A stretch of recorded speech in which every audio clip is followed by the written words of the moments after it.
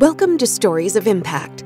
I'm producer Tavia Gilbert, and in every episode of this podcast, journalist Richard Sergay and I bring you a conversation about the newest scientific research on human flourishing and how those discoveries can be translated into practical tools. This season, we're diving into the question what are diverse intelligences? Today, we're going to hear Richard Sergay's interviews with Laurance Doyle and Fred Sharpe, two scientists who are exploring intelligences that take us from the bottom of the ocean to the farthest reaches of outer space. Let's begin with what might sound familiar, if otherworldly.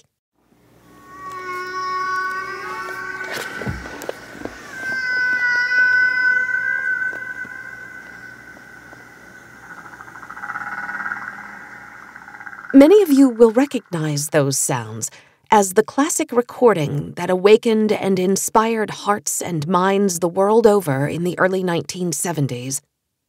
When listeners heard that groundbreaking recording of whale song made by Frank Watlington and Roger Payne, it led to a worldwide whale conservation effort that still impacts our thinking today.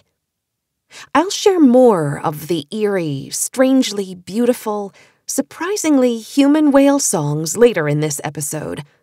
But let's turn our ears to this sound, which I suspect is less quickly identifiable.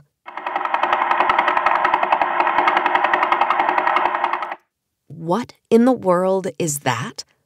That's star song, or more specifically, the sound of the Vela pulsar star. And today, our story is about how understanding the language or the song of whales might someday lead us to understand the language of extraterrestrial intelligence, communication that comes to us through the cosmos, which might even lead to a better understanding of ourselves. But let's start nearly two decades ago, when Dr. Fred Sharpe, an expert in humpback whales and the principal investigator with the Alaska Whale Foundation, received a very unexpected phone call. It was Dr. Laurance R. Doyle, an astrophysicist specializing in alien intelligence, calling with a big idea.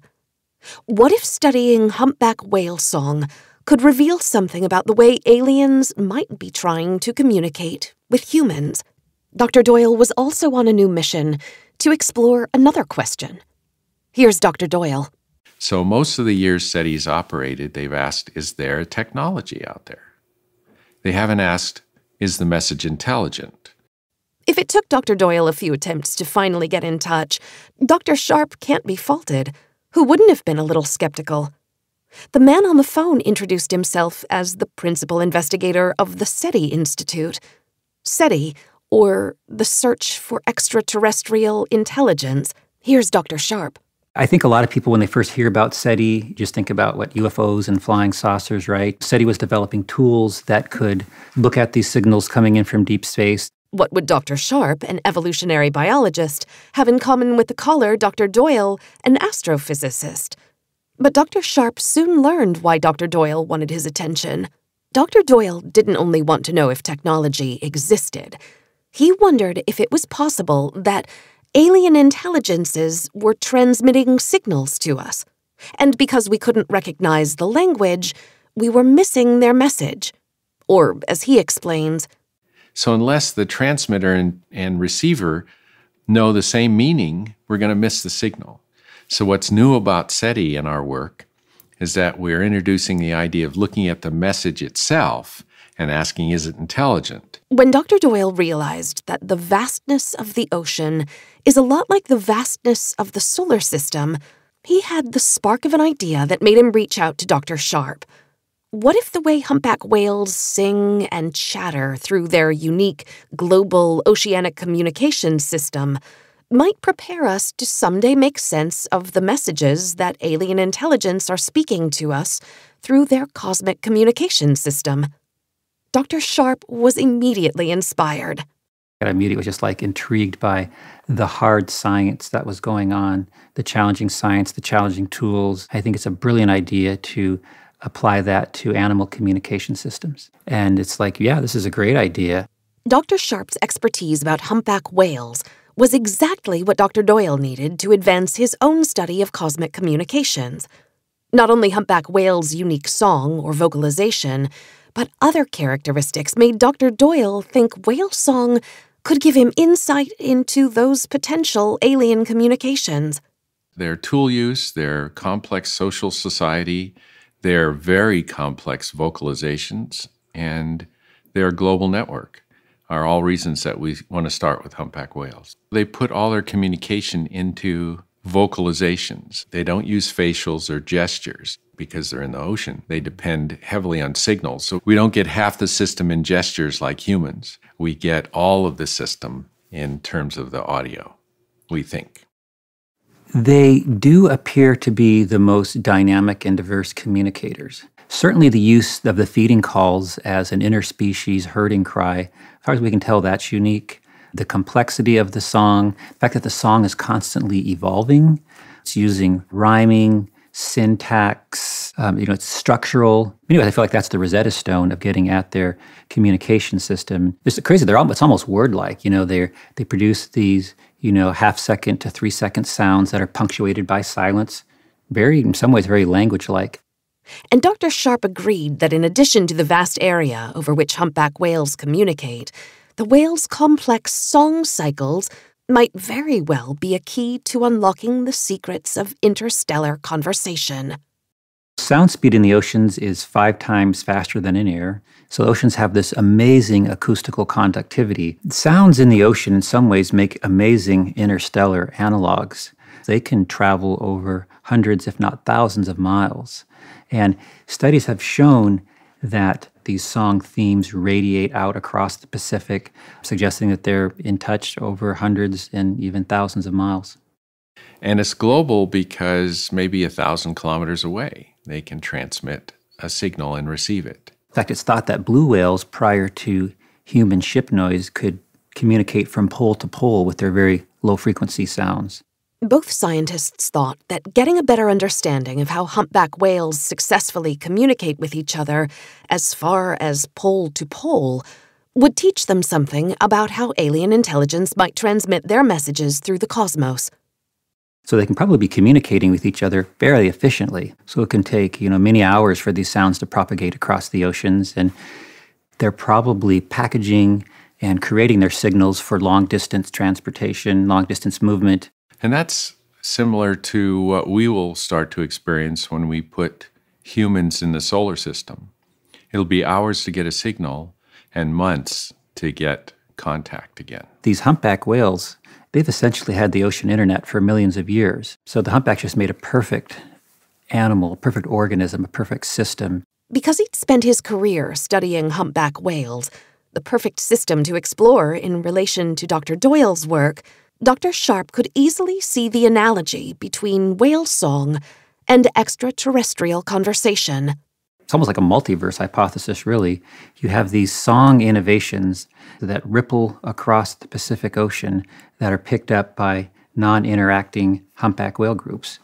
And so it's remarkable to have these cultural themes that come on down from high and are incorporated in and then passed on through across the Pacific. It may take a couple years, and you know, that is absolutely remarkable, and that suggests a global communication system.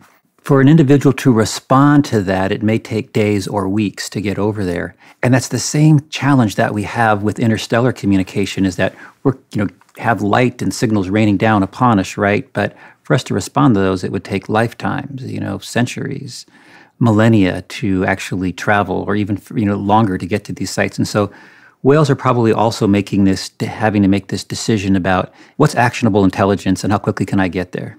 Humpback whales gave both these scientists their dream species to study. Especially for SETI purposes, we wanted to go to a larger species that has a global communication system that also has not been influenced by humans, hopefully.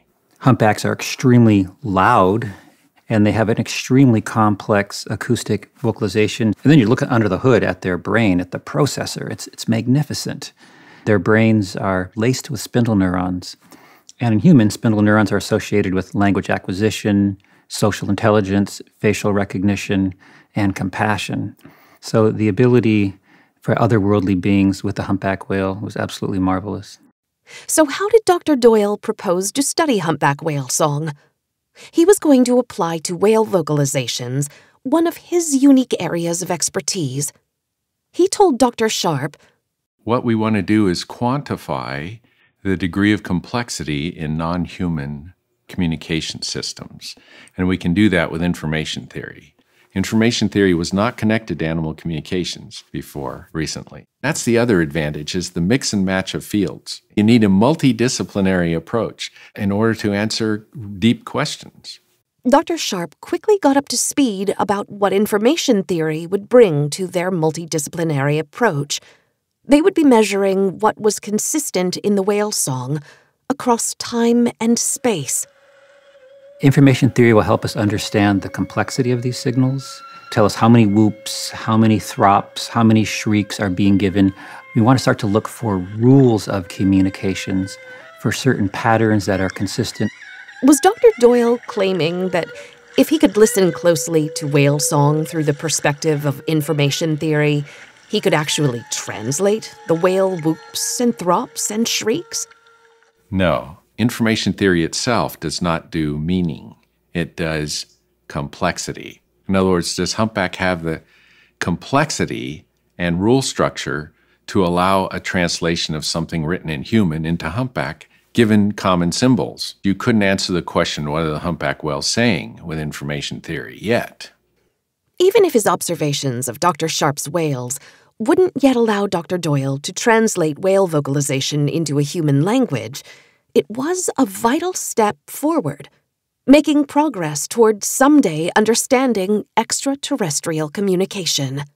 In order to make progress with the communication systems of complex animals, I think we have to start to recognize that they're capable of symbolic communication.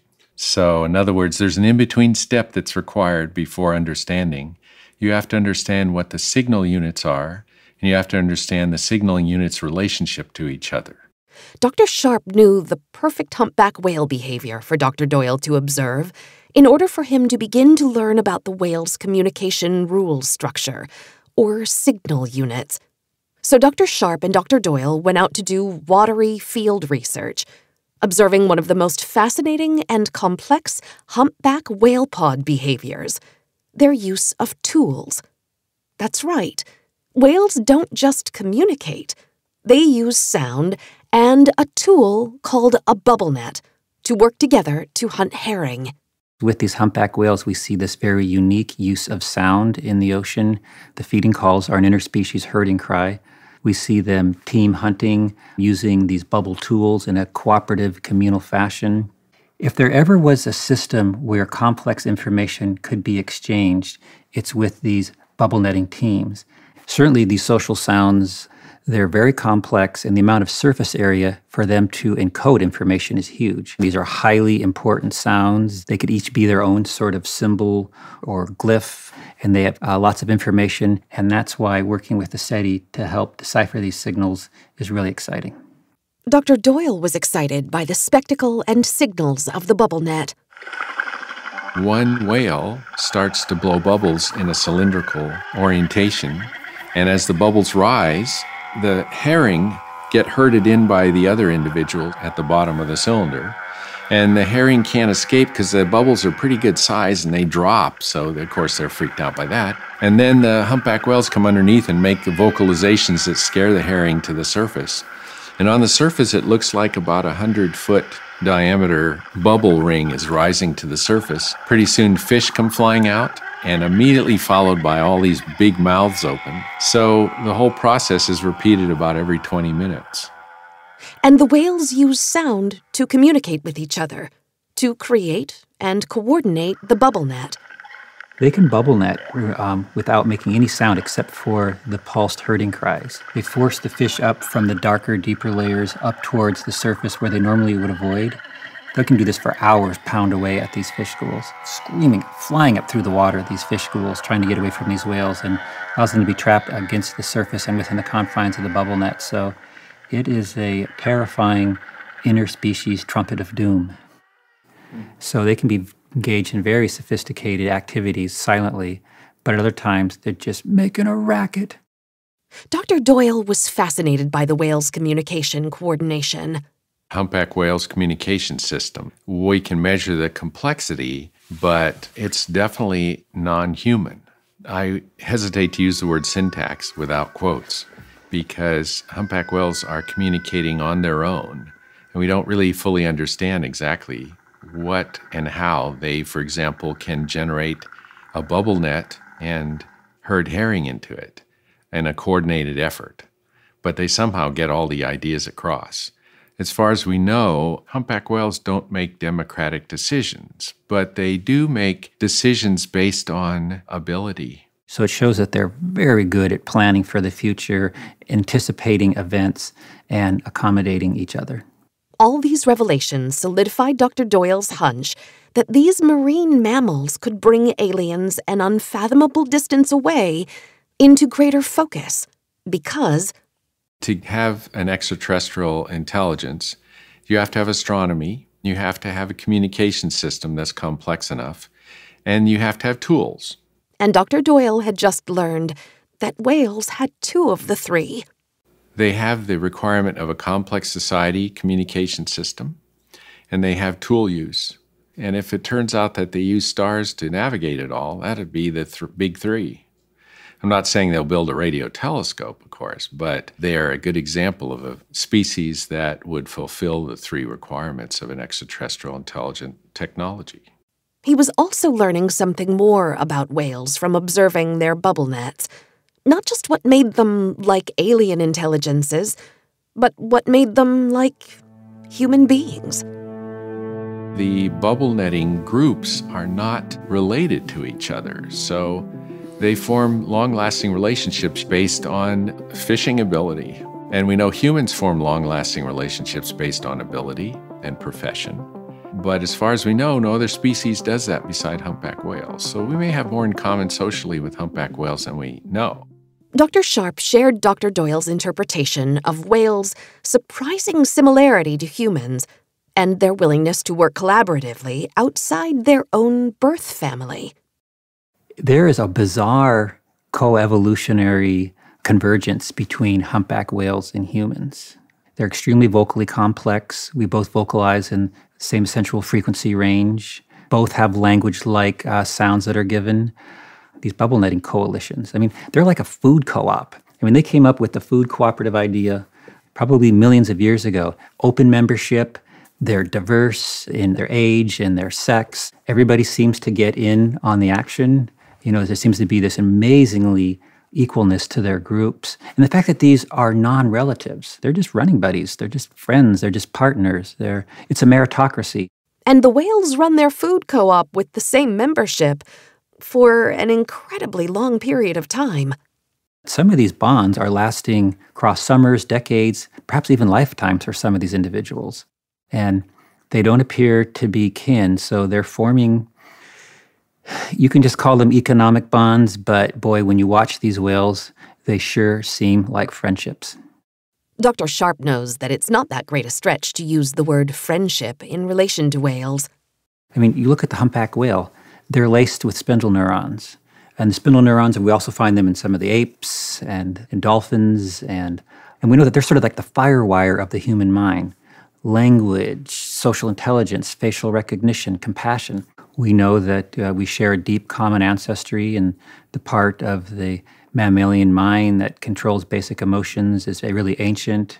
You know, the same neurotransmitters that course through their veins and, and brain is the similar ones to ours. And so there's all kinds of reasons to think that these animals live very complex, emotional, and cognitive lives. In fact, Humpback whales are not only renowned for their singing and their long sustained relationships, they're widely known as deeply compassionate animals. Humans do not have the market cornered on compassion. Research has been really amazing to show us how incredibly compassionate these humpback whales are. Humpback whales have this very unusual compassionate habit to run towards individuals that are distressed. A recent paper was published documenting over 100 incidences of humpback whales coming to the aid of other species. This includes their own calves, gray whale calves, dolphins, uh, sea lions, seals, even ocean sunfish that they'll come to the rescue when they're in distress. It's like firemen running to a burning building. They just charge over to render assistance. The fact that humpbacks are cooperative, compassionate, and protective was surely interesting to discover, but what did those virtues have to do with extraterrestrial intelligence? Dr. Doyle has an idea.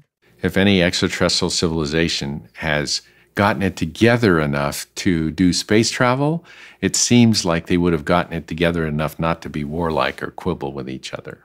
So maybe we need virtues like compassion or cooperation.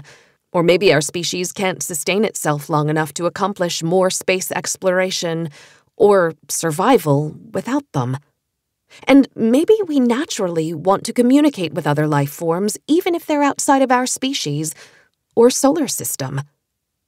Something happened that made the scientist duo think that maybe the fact that humpbacks are human like in their emotional lives made them want to get to know us better by communicating directly with us. During that ocean field trip, the doctors actually experienced the real possibility that the whales were, in fact, already reaching out to the humans on the boat above. When you try and talk underwater when you're in the swimming pool or something, it was what we sounded like talking in the boat to the humpback whales. And they were trying to not mimic us, they were making noises within our frequency range. Maybe just an imitation, but uh, maybe in an attempt to get our attention. I don't know. All I know is that. Uh, it blew us away. That is otherworldly. I mean, that's incredible, right? That experience was astonishing, moving, unforgettable. But could what happened that day be applied to Dr. Doyle's research? And did they really think that the whale's behavior indicated they were really trying to communicate? I would say that. I think I need to be a little more cautious as far as animal behaviorists go, but yeah, it sounds to me they're not going yee or out of our range of hearing or anything. They're and also the wah wah wah sounds like the tempo that humans speak at, and the frequency that humans speak at. And as far as I know, that that was the first time that that ever happened. If we got anything like that with a SETI signal, we'd say that's it. Whether or not the whales were actually making an effort to converse with the researchers, the collaboration between the two scientists to study whale song and its insights into alien intelligences was off to a successful start. It was a brilliant match of theory and going into the field and being able to test it. The doctors knew how to record with a hydrophone the huge amount of information the vocalizations of whales forming a bubble net were transmitting and Dr. Doyle knew he could only speculate what the purpose of the whale's communications were the day he and Dr. Sharpe heard them vocalizing in the human frequency range. Maybe it was an imitation, maybe it was not. The purpose of vocalizations, though, was the central question in his work, researching extraterrestrial communication. By knowing the purpose of the communication and how much information was transmitted, you can actually begin to quantify meaning. Dr. Sharpe was looking for meaning as well, and he was learning as much from Dr. Doyle's SETI research as Dr. Doyle was learning from the whales. In some of these astrophysical signals that are raining down, there could be uh, structural relationships in there that have greater meaning than we have yet been able to decipher. And by looking at the multitude of natural experiments here on Earth and then applying it to our search algorithms and filters in deep space, I think we're going to be a lot more informed. Both men wanted to be informed, yes. But were they truly convinced of life in outer space? If I wanted to be honest about what I think they could be and give credibility to everything's been checked out, there's no secret Air Force satellite or anything, we may have intercepted something like that. I think it was the the song of the humpback whale that made us realize that there are otherworldly beings right here in our oceans. And I don't feel alone at all with the, the splendor and the um, beauty and diversity of life on Earth. Now, is there life out there in the universe? Yes, there most likely is. And will we someday be able to have a conversation with them? I think through these collaborative ventures between people in the animal sciences and SETI, I think, we'll get closer to this wonderful and perplexing question. Both researchers' curiosity about whale communication had positioned them to ask the questions that might lead them to make breakthrough discoveries. Their openness to diverse intelligences beyond human intelligence structures deepened their work and their thinking.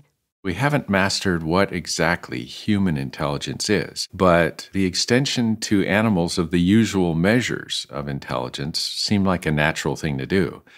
But it's time to outgrow that because it has generally limited our perception of how really intelligent and complex other species are.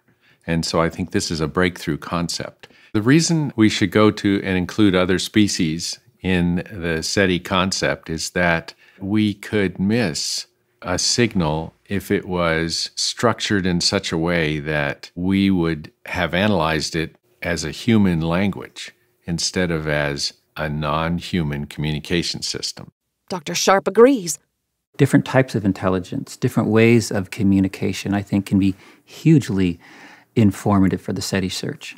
And intelligence can take countless forms. Diverse intelligence, uh, I warmed up to that term right away because to me, the first impression of that title was to deprovincialize our thinking about intelligence. In other words, recognize that intelligence can express itself in distinctly non human ways. What does Dr. Doyle mean when he says that thinking about diverse intelligences, or the search for alien intelligence, deprovincializes thinking? Provincial thinking basically does permutations on the existing data instead of original thought. So, deprovincialized thought means okay, we're getting completely out of ourselves, working with non humans, and coming up with truly original way of approaching a problem. Deprovincialization of thought is one of the great things that SETI is contributing. But that practice of getting out of ourselves isn't just a great way of thinking as a scientist. It's a great way of thinking about the human soul and the relationship humans have with our own ecosystem. I think the effort itself deprovincializes our thought about ourselves. It's very educational to think of extraterrestrials and their environments. And I think SETI is one of those things that deprovincializes thought. And it gets you thinking big. Let's face it, it's putting us in perspective. When we do that picture of you know, the astronomer staring up at the sky and saying, Are we alone? Two things strike me. One is that we need to pay attention to the non human communication systems here for practice. But the other thing is, as we look up and say, Are we alone? we're asking, What is the context in which humans have built a spacefaring technology? And where do we fit in? It's kind of like we went to the moon and Apollo 8 got that picture of the Earth. And that really sparked the ecological movement. Hey, this is a spaceship, we're riding first class, and we need to take care of it. Dr. Sharpe agrees that looking at diverse intelligences is not only inspiring, it's important. And it leads him to consider what that teaches him about the kinds of intelligence that might travel by star. I guess what has been so remarkable is that these whales have evolved these incredible social institutions and complex vocalizations without technology.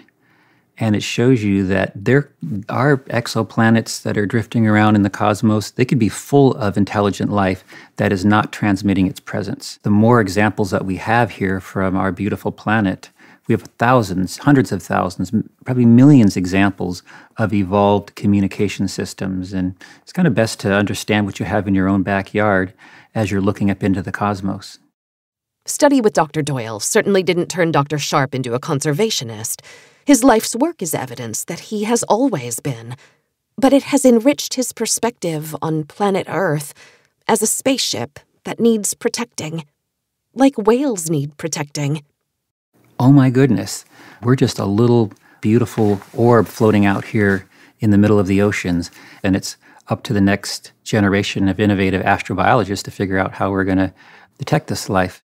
Dr. Doyle believes that hearing whale song and star song, receiving any message that, as he said, deprovincializes thought, is galvanizing. Just hearing them kind of wakes you up to the non human world. a non human intelligent communication. is wakes you up. so I think it has that effect on people. I mean, in a way that just talking head or a lecture doesn't do. When I give this talk and I play these, people wake up.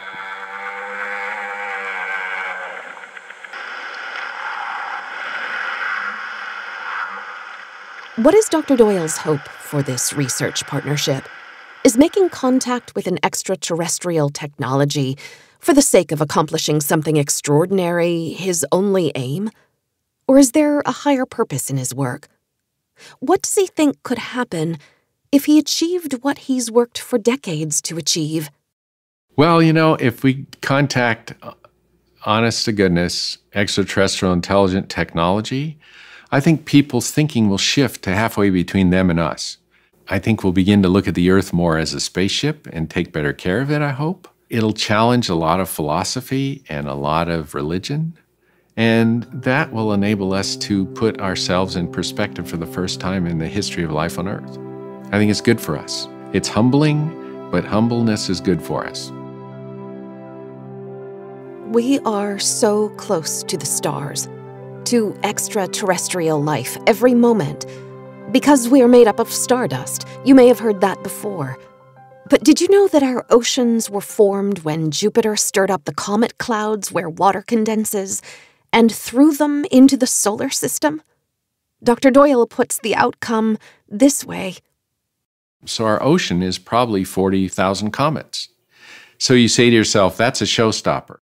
What a gorgeous concept and one that leaves me feeling simultaneously infinitesimally small and less lonely.